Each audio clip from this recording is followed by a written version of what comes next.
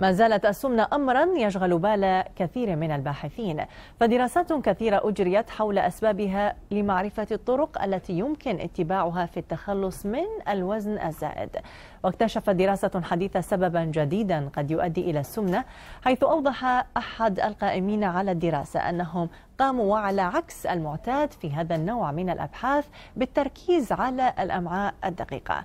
واكتشفوا داخلها نوعا جديدا من البكتيريا التي تلعب دورا كبيرا في عملية الهضم وزيادة معدلات البدانة. وذكر العالم أن هذه البكتيريا تؤثر بشكل كبير على آلية امتصاص الدهون في الجسم. فعن طريق إفراز أنزيمات تفكك الدهون وتسرع عملية امتصاصها بشكل كبير.